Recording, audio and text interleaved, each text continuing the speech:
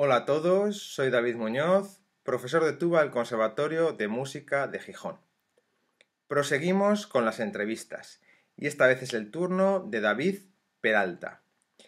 David es violinista en la Orquesta Filarmónica de Holanda, pero también, y gracias a su magnífico blog, ayuda a los músicos y a las instituciones culturales a difundir y promocionar sus actividades a través de Internet y las redes sociales. Y este es el tema del que vamos a hablar hoy. Espero que os guste. Hola David, buenos días. Hola, buenos días David, encantado de estar contigo. Un placer para mí tenerte aquí porque creo que puedes contar cosas muy interesantes relacionadas con Internet, con cómo los músicos podemos utilizar Internet y las redes sociales en nuestro beneficio. Y para comenzar, lo que quiero que nos cuentes es quién es David Peralta y bueno, un poco cuál es tu background.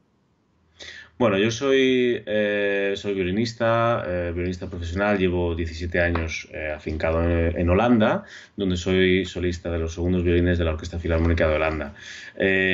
aquí he llegado pues, después de haber estado estudiando en Austria, de haber estudiado por supuesto en España, y, y la verdad es que desde los últimos siete años estoy muy metido también en el tema bueno, de Internet, redes sociales, a raíz de un festival de música que organicé yo en España, Verano Musical, durante, durante todos estos años y el cual pues me llevó un poco por la distancia eh, que supone estar en Holanda y organizar algo en España, me llevó pues a utilizar Internet desde el principio como una herramienta fundamental para, para la promoción del curso, pero también pues para atender a la gente y para, bueno, pues para llegar a todo el mundo, crear una marca, etcétera, etcétera. Y fue de la manera pues que empecé un poquito, al principio de una manera un poco autodidacta, pues cuando todavía todos estos canales, eh, eh, digo siete años, pero en realidad son diez, porque toda la preparación fue mucho, mucho anterior. Entonces todos estos canales estaban empezando y toda esta nueva forma de comunicarse también. Entonces, bueno, fue aquello que me llevó un poco pues a, ver todo el potencial de ello. Luego ya me metí más a nivel profesional, me formé. Eh, sigo formándome, como hacemos también en música, evidentemente, esto no se acaba nunca. Eh, y, bueno, pues esa fue un poco la razón por la que empecé a interesarme por el tema, el tema de redes sociales, marketing a través de Internet, etcétera, etcétera, creación de marca, etcétera. Y ahora mismo, pues eh, también tengo una pequeña empresa con la cual también hago pues, eh, consultoría, desarrollo de estrategias de este tipo y es algo, por ejemplo, que llevo también haciendo dos años en el Conservatorio de Ámsterdam, donde además doy clase eh, del máster de orquesta, pero también llevo toda la estrategia digital del conservatorio. Pues nada, fantástico, muchas gracias. Y bueno, la primera pregunta que quiero hacerte es un poco, aunque ya nos lo has introducido, es un poquito, bueno, ¿por qué piensas que, que este interés en las redes sociales y, sobre todo eh, enfocado a la música? ¿Por qué crees que los músicos debemos eh, estar en redes sociales o porque bueno, hay gente, ya sabes que hay muchas resistencias, ahora ya poco a poco la verdad que se va notando que ha, mejorado, pero, pero bueno, todavía hay músicos que, se niegan en redondo porque bueno, lo consideran algo negativo. Entonces, bueno, pues quiero que, yo que ya le hemos hablado más veces en persona, que nos cuentes aquí a todos un poco tu punto de vista sobre por qué un músico o una institución cultural o musical tiene que estar en redes sociales o, o tener una estrategia en Internet. Sí. A ver, yo entiendo perfectamente, y quiero empezar por ahí, eh, la resistencia que puede haber desde el mundo de la música, del mundo del músico, eh, a estos nuevos canales. Evidentemente, nosotros hemos aprendido a hacer música desde el esfuerzo, desde la disciplina, desde las horas de estudio, y todo eso pues, nos lleva también mucho, mucho tiempo, evidentemente. Eh, esto no quita mm, tampoco para darnos cuenta mm, de que todo ha cambiado. desde el 2008, cuando, cuando empezó la crisis, hemos visto como todas las instituciones culturales eh, eh, han visto recortados todos sus, eh, sus ingresos institucionales. sponsors de orquestas, etcétera, etcétera, han ido desapareciendo, yéndose a otros lugares.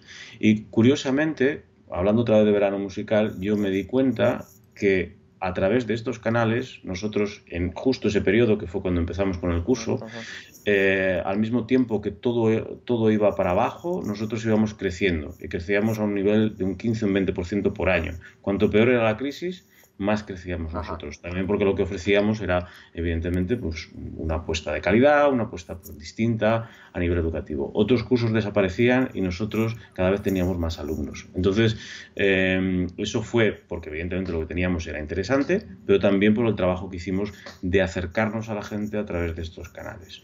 Y eso es un poco lo que a mí me dio me abrió la, eh, no sé, la visión de decir, bueno, realmente es lo que nosotros necesitamos en el mundo de la música, pues eh, en estos momentos tan complicados. Esto además coincidió con que mi mujer, que también es músico, perdió su trabajo en la orquesta donde trabajaba en Holanda por lo mismo, por temas de recortes, etcétera, etcétera. ¿no? Eh, ves en las salas pues, que el público, o veíamos que el público iba, era cada vez menor, etcétera, etcétera. Y todo esto fue un detonante para decir, se acabó. O sea, voy a, meterme con esto porque veo la importancia de acercarnos a través de estos canales a la gente, explicarles lo que somos, explicarles por qué somos tan importantes, no nosotros los músicos, sino por qué es tan importante la música, ¿no? la labor que estás haciendo, por ejemplo, tú en el Conservatorio de Gijón, eh, pues bueno, nadie sabría lo que es una tuba si no, si no fuera por todo el trabajo que estás haciendo tú también de dar a conocer ese instrumento tan maravilloso, ¿no? Entonces, eh, ¿por qué? Pues porque en tu caso, pues eh, también has apostado por estos canales y estás llegando a mucha más gente que si te quedases en el círculo de tu clase. Evidentemente esto lleva trabajo y es una cuestión pues de organizarse, ¿no? De aprender quizá a estudiar mejor para tener menos tiempo eh, en, esa fase, en esa fase y luego pues a través de las otras pues tener una estrategia definida que te ayude también a utilizar el tiempo que pasas en redes sociales porque hoy en día no conozco, no conozco mucha gente que realmente los hay, que no tengan ni una sola red social o que no tengan ningún tipo de contacto con internet, incluso a través de su teléfono. Entonces creo que es una oportunidad. Sí, claro, eh, y, como tú muy bien dices, al final la gente tiene redes sociales, pero, pero quizás no las está utilizando de forma adecuada al enfoque profesional. Yo lo comento con, con, gente que ya poco a poco me escribe, igual que te escribirán a ti, oye, ¿cómo puedes hacer esto? ¿Cómo, cómo, cómo usas las redes sociales? Y, y al final todo el mundo tiene sus redes sociales, pero no las utilizan de forma profesional. Y ahora mismo, a poco que se indague en Internet y en el mundo de las redes sociales, ves que Facebook, que Twitter, que Instagram, todos han monetizado el sistema que tienen ahora mismo y tú puedes eh, llegar a muchísima más gente y si tienes una estrategia adecuada funcionar muy bien. La estrategia, efectivamente, eh, lo que haces teniendo una estrategia es tener un plan, es tener eh, pues una idea de cómo desarrollar tu, bueno, pues, tu marca individual o colectiva eh, a través de estos canales o con la ayuda de estos canales. Esto lo que te hace es que el, bueno, el tiempo que utilizas es mucho mejor, está mucho mejor utilizado. Eh, eres mucho más efectivo y tienes unos objetivos claros. Si simplemente estás por estar, eh, pues bueno, está también bien, porque es lo que hace mucha gente, pero entonces sí que ves esos canales como una pérdida de tiempo, porque en realidad es lo que estás haciendo tú, estás perdiendo tiempo en esos canales, ¿no? Quiero decir, no tú, sino esa persona. Sí, sí, sí, entiendo. quería preguntarte que nos cuentes un poco a todos la importancia de tener un blog o por qué es bueno tener un blog para un músico. Yo lo tengo, tú tienes, yo soy consciente, lleva muchísimo trabajo, pero por supuesto tiene muchas cosas buenas. Entonces, me gustaría que nos contaras un poco qué cosas buenas tiene el tener un blog. Sí. Tener un blog, eh, bueno, pues eh, para un músico es importante también para esa labor de dar a conocer de, bueno, de estar en contacto con tu público. En, eh, en mi caso, en davidperalta.es, que, es, eh, que es mi blog, eh, lo que yo intento hacer es aportar valor, aportar valor a esa comunidad y también mm, a veces de una manera un tanto crítica hablar también de nosotros. Y hablar de nosotros me pongo yo el primero, ¿no? De cómo, cómo podemos cambiar, de cómo podemos utilizar todos estos canales pues, para, bueno, pues, para, mejorar el sector. Yo cuando empecé con el blog empecé como, eh, bueno, empecé en el, 2000, en el 2013, eh, ya cuando tenía todo este bagaje de creación de marca del curso, etcétera, etcétera, y empecé con una idea y fue la de, porque empecé al pasarle esto a mi mujer de perder el trabajo en, las en la orquesta que estaba, eh, me di cuenta de lo mal que estaban las orquestas también a nivel de redes sociales. ¿Por qué? Porque estos recortes eh, se debían a la falta de apoyo social. Y ese apoyo social no venía porque no se estaba haciendo bien ese trabajo de, eh, bueno, pues de contactar con la sociedad. Y la sociedad en esos momentos, en el 2013, estaba en redes sociales. Con lo cual hice un trabajo previo de análisis del tema de orquestas y todo eso, y entonces empecé a pensar, bueno, pues ¿por qué no voy a compartir yo lo que sé eh, sobre creación de marcas, redes sociales, etcétera, etcétera, para mejorar el sector, para ayudar a que otra gente no le ocurra lo que le ha ocurrido a mi mujer, por ejemplo. fue un poco una idea casi hasta romántica, pero, pero bueno, la verdad es que funcionó y, ahora el ranking ya tiene tres años, el ranking de influencia de redes sociales, y tengo que decir que es mucho trabajo, pero no sé, me da siempre mucha satisfacción ver cómo ahora pues eh, hay una respuesta enorme, cómo ha cambiado el sector en estos tres años y bueno, pues eh, a través del blog he aportado, o sea, el blog lo que me ha eh, ayudado a mí es a conseguir ese objetivo, es de dar a conocer esto, de crear un debate y por supuesto te ayuda a conocer a otra gente, como te he conocido a ti, como he conocido a otros músicos, etcétera, etcétera. Y, bueno, es, una, es un trabajo continuo. El blog te ayuda a conocerte y a proyectarte, ¿no? Con, eh, a, través, a través de este, de este mes. Sí, yo opino exactamente igual, creo que es la mejor herramienta de marca personal que existe. aparte que es que el aprendizaje es continuo en, en, en, múltiples eh, formas, ¿no? Porque por mm. supuesto profundizas en tu trabajo, en las cosas que quieres hacer, pero luego en cómo gestionar el blog, en cómo, bueno, todo lo que lleva detrás, ¿no? A nivel de redes sociales, a nivel de, de informática, un montón de detalles que te hace crecer muchísimo y que, bueno, y que, y que por supuesto te hace mejor persona y mejor, y mejor profesional. Sin duda. Eh, quiero que cuentes un poquito, yo que te sigo desde hace bastante y mm. que creo que tu blog es uno de los que más valor aporta ahora mismo en este, en este aspecto de la de internet y las redes sociales aplicadas a la música, yo te sigo y a mm. todos que me a toda la gente que me pide consejo o me pide, oye, yo recomiendo que te sigan porque creo que, te lo agradezco, David. Ahora, es que ahora mismo, en mi opinión, eres el referente, ¿no? En, España mm. y sobre las cosas que estás haciendo. Y eso se ha visto reflejado un poco en el ranking, ¿no? Que mm. sí que es verdad que gracias, y a, gracias a, este trabajo que estás realizando con el ranking, las orquestas en redes sociales, sobre todo en Twitter, han dado un empujón muy, muy, muy fuerte y creo que lo están empezando a notar. Entonces, bueno, eh, yo mi pregunta era que para cuándo uno de conservatorios, ¿no? Evidentemente es más complicado, hay más centros. Lo tengo, lo tengo, lo tengo ahí. Está, estoy en preparación. Ahora es que también tengo varios proyectos al mismo tiempo que se, me han juntado un poco.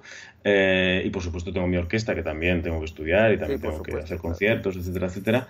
Eh, pero sí, lo tengo, lo tenía previsto para antes de final de año, pero lo, he dejado ahora para este primer trimestre porque, eh, como dices, es, un trabajo eh, complejo en el sentido de que hay muchos centros, hay muchos centros también que están eh, que tienen cuenta pero son inactivos, entonces tengo que buscar un criterio, tengo que, así como con las orquestas el criterio inicial era todas las que estaban en AEOS y luego las que se fueron uniendo después, pues con una temporada fija y una cuenta en Twitter.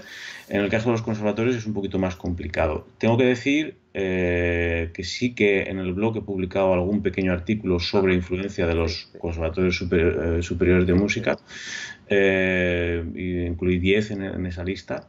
Pero bueno, ha habido cambios y me gustaría incluir a todos los conservatorios como he hecho también con las orquestas, o sea, no por ser una, o sea, en redes sociales todos somos iguales, entonces quiero que eso se refleje en el ranking, ¿no? Si, eh, si un conservatorio pequeño lo hace mejor que un conservatorio superior de una orquesta, de, o sea, de una ciudad importante, eh, tienen el derecho de estar por encima porque tienen mejor influencia, porque lo hacen mejor en redes sociales, y ese trabajo es el que yo quiero premiar también con ese ranking, ¿no?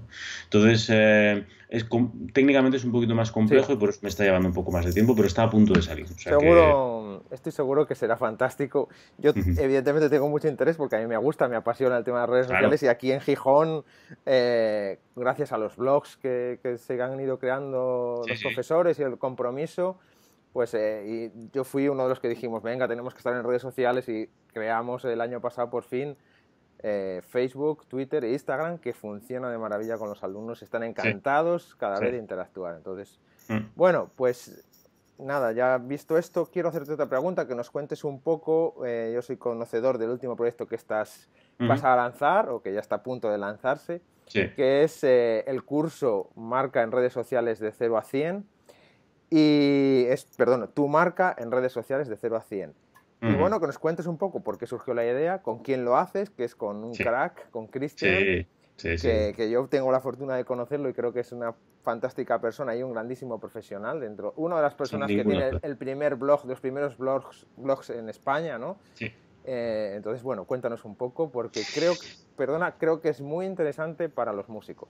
Sí, mira, eh, este es uno de los proyectos que más ilusión me hacen eh, de los últimos que he hecho en los últimos años, porque como tú bien dices, primero está hecho con un junto con un gran profesional que es Cristian Delgado von Eichen, que tiene, eh, pues como tú bien dices, uno de los blogs más, eh, más antiguos de España. Eh, es una persona que lleva trabajando el tema de marca pues muchísimos años y mira, lo que son las cosas, nosotros nos hemos conocido también a través de redes sociales, nos hemos conocido a través de nuestros blogs, nos hemos puesto en contacto a través de, bueno, afinidad en muchos casos con, con cómo pensamos que el mundo de las redes sociales eh, y el mundo de Internet o de las marcas en estos, en estos canales se tienen que desenvolver.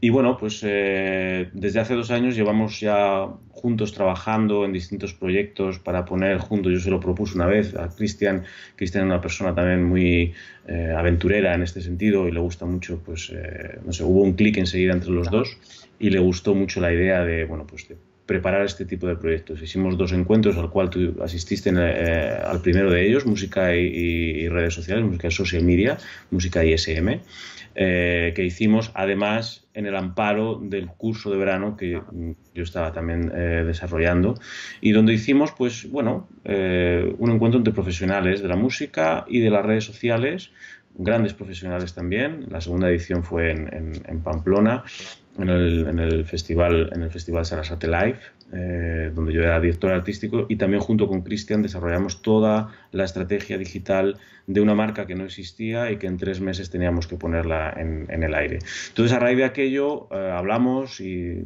bueno, pues eh, dijimos, oye, ¿por qué no todo esto que sabemos juntos, que hemos aprendido por separado y que estamos poniendo en común, ¿por qué no lo compartimos? Y creamos un curso, un curso online pues precisamente para músicos. Llevamos meses pensando en ello, meses desarrollándolo, es complicado porque eh, siempre queremos dar muchísimo en muy poco tiempo y es eh, eh, siempre sabe a poco, siempre te, te, queda, te queda algo en el tintero, pero al final nos hemos decidido lanzarlo y efectivamente ya hemos hecho una, una preventa a, a, través de suscriptores del blog, también para conocer qué tipo de, bueno, pues de de, demanda había también, eh, para que nos dieran su opinión.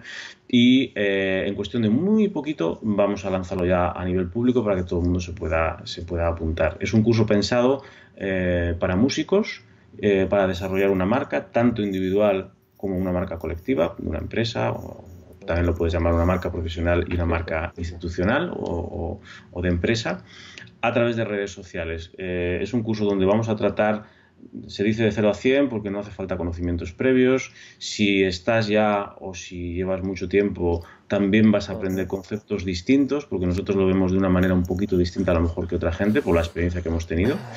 Y nada, estamos ahí, estamos ahí, enseguida lo vamos a lanzar y con muchas ganas. Muy bien, pues entonces ansioso de, de conocer toda la información y bueno, ya sabes que yo me voy a apuntar fijo porque, porque creo que siempre es un aprendizaje. Eso, no tengo ninguna duda que, con vosotros detrás eh, el curso va a ser muy interesante y muy provechoso. Así que, en mi opinión, es algo que recomiendo a toda la gente que vea esta entrevista que se informe. Y bueno, yo pondré el link eh, de vuestro, tanto del blog como incluso del curso, porque bueno, creo que es muy interesante. Muy bien, y ahora que quiero que nos cuentes un poco, bueno, vamos a contar a todos que vas a venir a Gijón dentro de muy poco que es algo que yo venía ya intentando eh, que ocurriera desde hace ya un tiempo y este año, gracias al, CPR de Gijón, se ha podido traer, que vas a dar una formación a, los profesores. Con bueno, pues este, este, tipo de formaciones que ya has hecho por varios conservatorios de España, incluso en alguna orquesta. Y bueno, pues eh, me gustaría un poco que contaras a todos de qué va esta formación, eh, que por supuesto está enfocada con este tema, que es Internet y redes sociales ¿no? para el músico, y que yo consideraba muy importante, ya que aquí en el Conservatorio de Gijón, por suerte, tenemos un grupo humano muy interesado en este tipo de, en cómo en cómo aplican este marketing educativo, ¿no? Podemos llamarlo así, es decir, este, todo Internet y redes sociales a la enseñanza de la música. Y que yo tenga consciente, pues tenemos, miro así porque tengo la lista aquí, 26 eh, personas apuntadas. Muy, bien. Y, bueno, espero que seguramente que ahora que se va a volver a abrir el plazo haya más gente que pueda venir y, que sea muy interesante. Entonces cuéntanos un poco los temas generales que vas a tratar, el, enfoque y por qué. Bueno, pues eh, eh, lo, que, lo que vamos a tratar en este curso, que dura tres días para el Conservatorio de Gijón, es eh, vamos a, formar o a dar una, formación básica a todos los que, los que vengan pues en el uso de estas, de estas, de estas herramientas enfocado, como tú muy bien dices, al marketing educativo. Marketing, educativo, marketing la palabra marketing siempre suena algo como un poquito feo, un poquito como eh, vender, y vender no es feo, venderse es bueno siempre y cuando lo que vendas está bien y, se corresponda con lo que vendes. Entonces, eh, la idea es justo pues eso, ¿no? perder el miedo a estos canales, ayudar a la, bueno, pues, eh, a la organización donde todos trabajamos, en este caso donde trabajáis vosotros, en el, Conservatorio de Gijón, y ahí lo que vamos a hacer es pues, justo eso, eh, hablar de estos canales, resolver dudas y hablar de las herramientas más importantes que nos pueden ayudar a bueno, pues a, llegar a más gente, eh, a ser un servicio, porque evidentemente un conservatorio también es un servicio social, es, algo que está al servicio de la sociedad, o así lo veo yo, eh, y de alguna manera los canales Internet y las redes sociales nos pueden ayudar como herramientas pues a hacer esa labor todavía de una manera mucho más eficiente. Como he dicho también, es importantísimo darse a conocer, es abrir, como tú tienes tu aula maravillosa que veo ahí, conoceré dentro de unos días. Eh, eh, eh, abrir estas aulas también a través, a través de Internet y siempre, pues, por supuesto, cumpliendo las normas de seguridad, de privacidad, etcétera, etcétera, que son, son siempre necesarias. Y de estas cosas son de las que vamos a hablar, ¿no? Un poco al servicio pues, de, vuestra propia, de vuestra propia organización pues para ver cómo podéis integrar, que es lo que también estamos haciendo nosotros en el Conservatorio de Ámsterdam, eh, con la estrategia que yo eh, estoy, estoy desarrollando allí, integrando pues, a profesorado y alumnos. Y quería preguntarte una cosa, que ayer estuve escuchando un poco las tendencias de este 2017, que yo sé que lo usas, que, mm. que, yo poco a poco lo voy utilizando, y es, eh, y esto no estaba preparado, se me acaba de ocurrir ahora mismo, y es, es el, uso del vídeo en directo, ¿no? De, sí. Para, yo ya, como en Instagram la gente está utilizando mucho vídeo en directo, en Facebook también, es decir, es la tendencia, está totalmente cambiando a una velocidad eh, espectacular. Y, y, bueno, yo creo que es algo que tenemos que utilizar los músicos. Yo ya incluso aquí en algún concierto que, consigo el permiso y que bueno, que veo que todo el mundo está grabando, con lo cual, o en alguna, algún concierto que es más de mis alumnos y que yo sé que eh, todos eh, los padres están encantados, siempre pido permiso, por supuesto, y lo difundo en directo, o hago un vídeo y me lo curro y lo subo a YouTube ¿Qué opinas de esto? ¿Qué opinas de esta tendencia? ¿Crees que los músicos eh, tenemos que perder ese miedo? Porque hay mucho, ay, que es que yo no he preparado esto del todo bien, no ha salido perfecto. ¿Qué opinas de ello? Dices muy bien, o sea, nuestro problema como músicos es nuestra formación como músicos, ¿no? Desde la perfección y desde el, bueno, pues que el error es, eh, es un problema, etcétera. No, no es un problema. La música en directo es lo más eh, importante que hay, incluso con errores, o sea, es lo más, la experiencia más eh, viva y más intensa que puedes tener de la música. Entonces, ¿por qué no dar esa oportunidad también pues, a gente que no conoce lo que se está haciendo en un conservatorio a través de estos canales? Entonces, el vídeo eh, las grabaciones en directo han existido siempre, en CD, en cualquier formato. ¿no? Eh, buscamos en YouTube para cuando tenemos que preparar, por ejemplo, una orquesta, una obra, y, te, y, siempre vas a grabaciones donde puedas saber, ver a la gente y encima que sea en directo. Entonces, ¿por qué no ahora eh, con las redes sociales, con las, bueno, la, la, gran cantidad de oportunidades que tenemos para hacer esto de una manera muy sencilla, donde todo el mundo puede ser su propio eh, bueno, su propia agencia televisiva, ¿no? O por qué no. Eh, no se trata de hacerlo de manera discriminada, pero si esto lo integramos también dentro de una estrategia, eh, podemos pues, llegar a mucha más gente. El vídeo eh, sigue siendo eh, uno de los, bueno, de los medios más importantes. De hecho, bueno, esta entrevista lo es también. Eh, las entrevistas en vídeo son mucho más efectivas y mucho más amenas porque ves a la persona, no, sé, no, no hay tanta posibilidad de edición, etcétera, etcétera.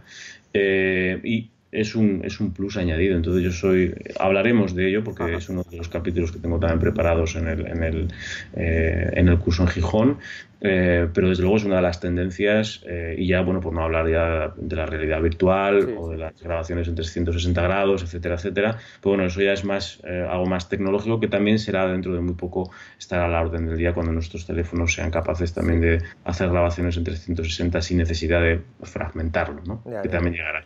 Yo la verdad que cuando he experimentado hace no mucho, traje a, mm. un, a, un, ensemble de tubas eh, malagueño aquí al conservatorio mm. y decidí hacer la difusión, ¿no? Bueno, pues me lo, puse, tenemos wifi y lo puse bien, estable, todo. Y claro, me quedé muy sorprendido que el, diversos vídeos que luego se compartieron, se compartieron muchísimo y tuvieron al alcance de 6.000, 7.000, 10.000 personas. No he vuelto a mirarlo cuando en el conservatorio en ese mismo momento creo que había 50 o 60 y, claro, el alcance de, las actividades, si lo haces bien y, de las cosas que estás haciendo, pues es inmenso, con lo cual... Es inmenso. Mira, de hecho yo te propongo una cosa, David, y esto tampoco estaba preparado, bueno, nada estaba preparado en realidad, eh, pero te voy a proponer una cosa, si quieres, en el curso de Gijón, eh, los últimos 15-20 minutos de cada sesión que hagamos la vamos a retransmitir en directo. por supuesto, por supuesto, vamos a transmitir en directo, sí. Y así pues damos también la opción a participar en esos últimos 15-20 minutos a gente que sea también de fuera y bueno, también de esta manera estamos haciendo, estamos abriéndolo, eh, estamos abriendo una actividad también a más, a más, a más gente, una actividad que es vuestra, pues también es bueno eh, esos últimos 15-20 minutos compartirlo, incluso quién sabe establecer algún tipo de, eh, de debate con la gente que pueda, que pueda apuntarse. Fantástico. ¿Te parece? Lo vamos a hacer, recuérdamelo para prepararlo y, y nada, Estoy encantado de tener esta charla contigo porque, oh, como, siempre, es muy enriquecedora. Bueno, mm. para finalizar, porque no te quiero robar más tiempo, pero sí voy a hacer la última pregunta que hago un poco a todos. Normalmente la hago a tu vistas, mm. pero poco a poco voy encaminando también por otros sitios. Entonces, mm. ¿cómo ves, en tu opinión, el futuro laboral de la música a día de hoy en tu visión europea? ¿no? Porque tú vives en, en Holanda. Conoces muy bien cómo funciona España, por supuesto, pero por suerte también tienes unos contactos muy interesantes en Europa. Entonces, eh, una de las mayores preocupaciones que yo como docente tengo, y tú también, es que la gente que estamos formando termine con un trabajo. Danos tu opinión al respecto. Pues mira, mi opinión al respecto es que, eh, y vuelvo a incidir en lo mismo, es que eh, el trabajo del futuro para el músico del futuro pasa por Internet y las redes sociales. El desarrollo de su marca y el desarrollo de buscar otras oportunidades de trabajo a través de estos canales. Lo puedo decir de cualquier otra manera, más claro y más directo no puedo ser. Yo en el más, yo doy aquí clases en el Conservatorio de Ámsterdam, del máster de orquesta, y eh, bueno, pues en los últimos años que yo llevo aquí, eh, como he dicho antes, 17 años en Holanda, han cerrado muchas orquestas, hay conservatorios que siguen cerrando, se va reduciendo todo porque por el mismo problema que hemos hablado antes, hay cada vez menos dinero para estas cosas.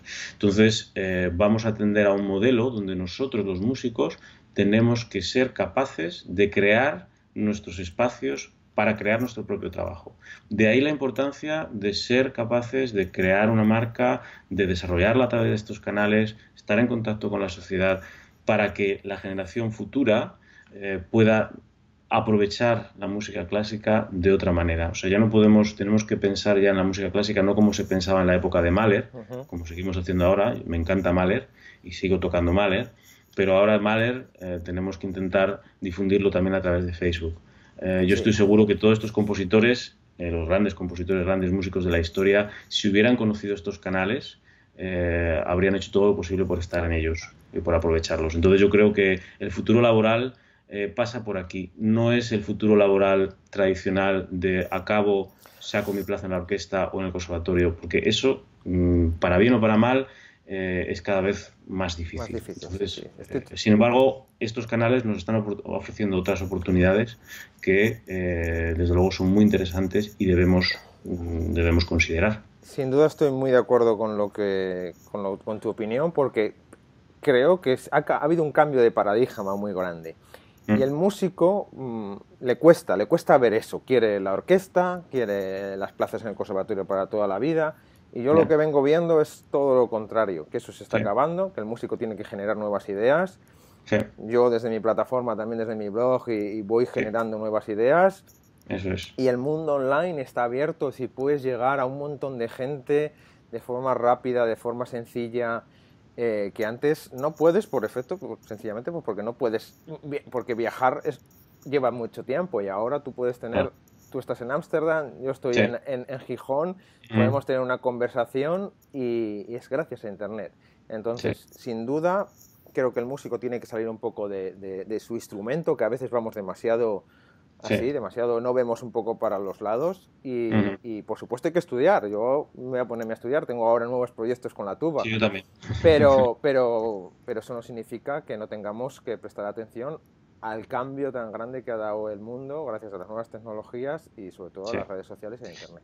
Sin ninguna duda. Y yo también lo digo siempre en cualquier conferencia que doy, en cualquier curso, incluso en mis clases, digo, y siempre todo tiene que ir dirigido y enfocado a la experiencia en directo a conseguir que la gente se acerque a nosotros. Y si, eh, si lo hacemos cerrando nuestras salas, eh, haciendo que la gente desconecte sus teléfonos, etcétera, etcétera, lo que estamos haciendo es matando las pocas oportunidades que nos quedan de que la gente se acerque a nuestros conciertos o que nosotros llevemos nuestros conciertos a la gente, que de hecho es un poco la tendencia que tenemos que, seguir. Bueno, pues nada.